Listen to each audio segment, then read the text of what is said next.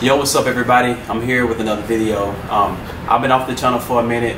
If you haven't noticed, I've been learning to sew over the past few months and it's been great. This video here is going to be a real quick project. I'm going to teach you how to take your regular collar and turn it into a widespread.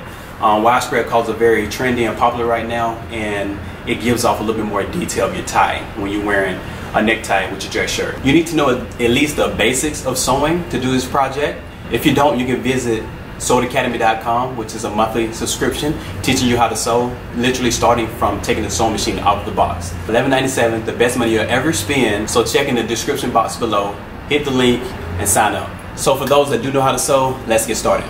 Okay, before we get started, you're gonna need pins, some snippers, a seam ripper, and of course a shirt.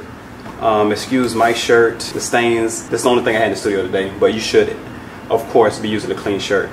Um, first step, we're going to take the stitches out the top of the neckband um, I say about four inches on both sides. We don't have to take the complete cut off just a good bit of the ends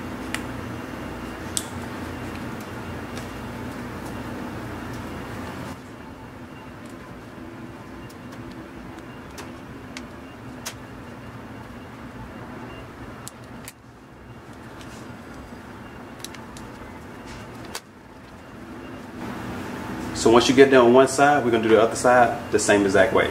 So next, you're gonna take one end and fold it wrong side out.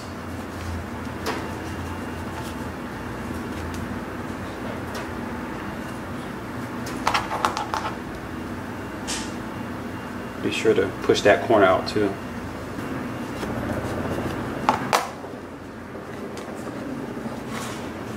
So once you have it wrong side out, you want to take it and lay it flat. And this is the most important part because it's going to create that wide spread that you want to get. So I didn't mention this earlier, but you're going to need a ruler and also something to mark the collar with. So grab your ruler and we're going to measure in one inch from the top of the collar. We're going to make a little mark. So now we want to connect that mark with the bottom of the collar at the point. So we're going to go at an angle and mark it off just like that. This is going to be your new stitching line. So stitch this down, we're going to come right back. So you want to start right there on the pre-existing stitching line. Back stitch.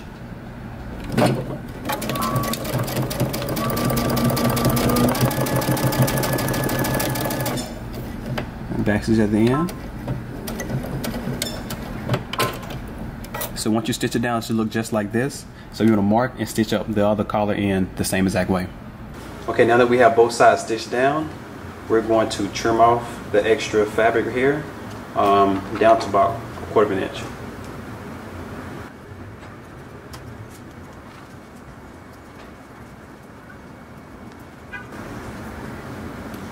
And we're going to trim the corners just a little bit. Make sure you don't trim into your thread.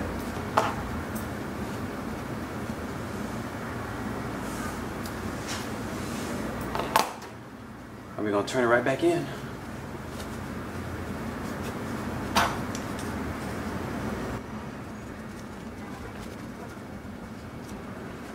Now before we attach this collar back into our neckband, if your shirt has a top stitching, you want to top stitch it right now.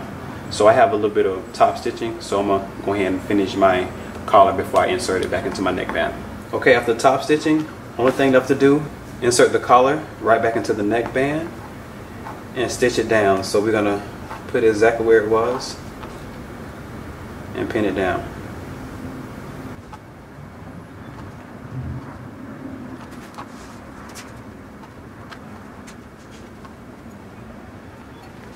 Okay, let's head up to the sewing machine. Okay, so you want to start just a little bit ahead of the end of the stitch. Back stitch.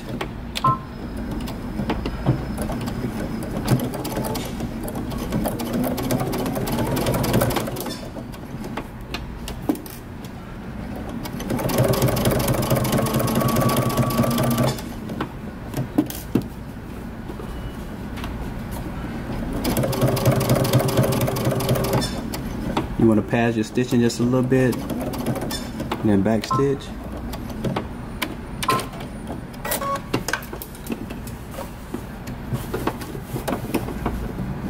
Now the other sides. Back stitch.